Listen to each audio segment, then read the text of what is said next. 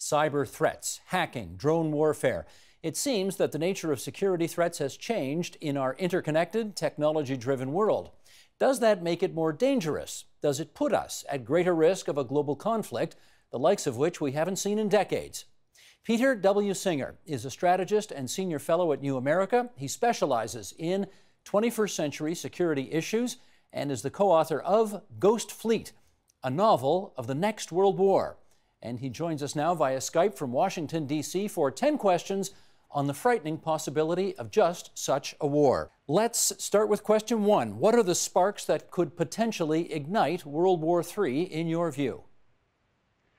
I think would, the greatest risk is some kind of crisis spinning out of control, a la how World War I started. If you go back to World War I, none of the great powers uh, thought that they would end up in a war, and yet over the course of days and weeks, suddenly it made sense to them. And you could see the same thing playing out in some kind of miscalculation in the South China Sea or Baltics or whatnot. It's the crisis that spins out of control that worries me most.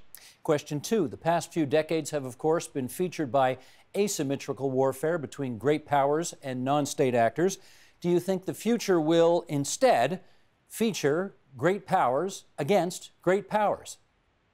Yes, uh, the risk from non-state actors isn't going away. It isn't like ISIS or Al Qaeda are disappearing. But what we are seeing is a return to the past, where the worry is not these network groups operating in failed states, but it's actually now a return to a threat from powerful states. Uh, so it's a throwback to Cold War, World War II style, where you're concerned about the Russian military, you're concerned about the Chinese military. But the riff on it is that maybe it's playing out in domains where they weren't jousting before. So, for example, uh, cyber conflict wasn't a feature of the Cold War, but it's something that we're looking at now. Question three You have talked about how Chinese military officers, many of them anyway, say they are suffering from a quote, peace disease. What is that peace disease you refer to? What these Chinese military officers were writing about is they were lamenting the fact that they'd never served in a war before. They'd never served in combat before. They described this as something that they felt bad about. And of course, you know, that's not something you should feel bad about. It's actually a positive. Uh, so this peace disease, it points to kind of, it's a, it's a way of encapsulating a larger issue of nationalism that's been playing out within China and as a more sort of outward, uh, more aggressive posture and an attitude among its military military that's certainly concerning.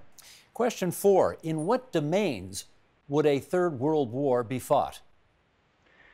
I think it's interesting if we look at the battles that we've been fighting over the last couple decades, they've been only in the ground domain. Our forces, whether it's in Afghanistan or if you go back to Vietnam, they've been supported by um, air forces and naval forces, but they never had to truly battle for control of the sea, for control of the air.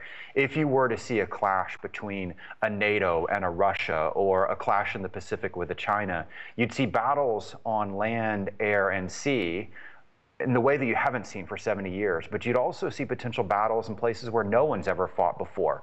True cyber war, true battles in space for control of space. So it's this multi-domain nature that would make a different uh, World War III than what we've seen in the past. Hmm. Question five, what is a potential new weapon that you might see introduced in a third world war? Gosh, there's a number of them. Uh, it's everything from directed energy, the idea of lasers, which were once something in science fiction, they're now real, to cyber weapons. Uh, we've seen them used in sabotage operations like uh, Stuxnet and how it was used to sabotage Iranian nuclear research. It was just software programming. It would be deployed, or its like would be deployed into conflict, to autonomous robotics. Again, another thing that was in science fiction. Now we have over 80 different nations are working on military robotics today and of course, they would be deployed in conflicts with each other. So really, it's much like how we saw in World War I. There was all of these science fiction technologies back then, the submarine, the airplane, the tank, that became real. The same phenomena would play out if we saw a major conflict moving forward. Hmm. Question six. World War I lasted four years. World War II lasted six years. What would your speculation lead you to believe the length of World War III could be? it would be pure speculation. I think what worries me is the attitudes that you saw before World War I, where the military officers and the government leaders thought it would be a quick and easy war, and instead, as you laid out, it, it stretched out. Same phenomenon if you look at attitudes among military officers, whether it's in China or it's in Russia or it's in NATO. When they think about the fighting, the adjectives that they use are short and sharp. It would be quick it would be easy, and their side, of course, would be the one that would win. And that's not always the way. So I think you know the point is um, it would be speculation, but the lessons of the past point to the one thing we know is both sides can't be right in thinking that it would be quick and easy for their side. Hmm. Question seven. One of the metrics in the past for determining whether you won a war was whether you killed more people on the other side than losses sustained by yourself. Uh, in the future, how do you think warring nations would measure success? I think they measure it as uh, the same way they always have, where it's not just in these losses, as you note, but it's at the end of the day, a war ends when um, the losing side decides that it's been lo- it's lost, uh, when it gives up, when it surrenders. If it doesn't, it drags on in some way, shape, or form. So you can be beaten formally on the battlefield, but you can still turn to insurgency or the like, as we saw in the Iraq War, as we're seeing now in Afghanistan. Um, I think the interesting thing, if we're looking at these great power conflicts, is that. Uh, we've grown accustomed to them as having some kind of formal uh, signature end at it. But if you look, you know, further back beyond World War I or World War II, sometimes um, both sides would be exhausted. Sometimes um, uh, each side would decide they'd just had enough. My point is that wars both begin in a number of different ways through accidents, crises, deliberate choices. They also end in a number of different ways through actual peace agreements, or they drag out, or the two sides just get tired. Question eight The prevailing view during the Cold War was that it would never escalate to World War III because of MAD, mutually assured destruction. How relevant do you think that doctrine is today? We have to look back at uh, the Cold War and count ourselves really lucky. There was a number of times where we came incredibly close to conflict. The Cuban Missile Crisis is an example. Uh, sometimes we were incredibly close and we didn't even know it. There were these exercises in the 1980s where um, there was almost a nuclear war by miscalculation. So the fact that we have nuclear weapons isn't what keeps us from, it isn't a pure guarantee, it isn't a firewall. You add in now everything from the potential miscalculation, cyber conflict, to um, inexperienced leaders, uh, chaotic leaders, and um, it's worry. Another part of um, MAD is the idea that it's mutual and it's assured destruction. And the injection of cyber conflict um, changes that. There's not mutuality. Both sides uh, are not equally vulnerable to a cyber conflict. Cyber attacks are also hard to figure out if they're hitting you the way you can, for example, clearly know the missile coming at you and who sent it. Cyber attacks not the same. So it's a much more complex space that we're in, a much more worrisome space. Question nine Some have observed that because our economies are so interconnected these days, we wouldn't go to war against each other because there's just no mileage in it.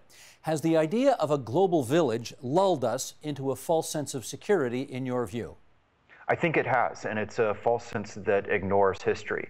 Before World War I, uh, Germany's closest trading partner was France. Uh, and the international economy was almost as globalized as it is now. Before World War II, the U.S. was Japan's greatest trading partner. So the point is, is that um, these ties that bind us uh, sometimes in history, it hasn't worked out that way. Uh, something that worries me, you know, living in the U.S. right now, is we see a return to the rhetoric of the 1920s and 30s, where uh, the rise of nationalism, the um, putting down of free trade, uh, and you know the pushing of trade wars. And so you can have economies that are meshed, and sometimes that can lead you to peace, and other times that can lead you to greater anger. And so the point again is not that uh, some um, war is guaranteed, just like peace wasn't guaranteed. But if we're looking at the global system right now, it's at a level of threat and chaos that we certainly haven't seen uh, for several decades. And Peter, let's wrap up with question 10, which, given that you're in Washington, D.C., I have to ask this. Given that it's now President Donald J. Trump, does that make World War III more or less likely in your view? oh, goodness. Um, there's a lot of uncertainty that uh, Trump has injected into the system and everything from global politics to the global economy to democracy, uh, respectful rule of law. You know, I could go on and on. And I think the injection of that uncertainty and the very clear way that um, he has pushed back against the 70 uh, year system that has kept the world safe. When you look at the NATO alliance and the like, um, that uncertainty is something that leaves a lot of people feeling queasy. Uh, so, you know, again, it's bumpy times uh, ahead. Hopefully, it's not something that becomes uh, escalates into something more dangerous. But um, chaos is not something that you want in a global system. Hmm. And you've got a front seat for it all. Peter W. Singer, author, Ghost Fleet, a novel of the next world war. He's a fellow with New America. We're so glad you could join us on TVO again, Peter. Thanks so much. Thank you for having me. Help TVO create a better world through the power of learning. Visit TVO.org and make a tax deductible donation today.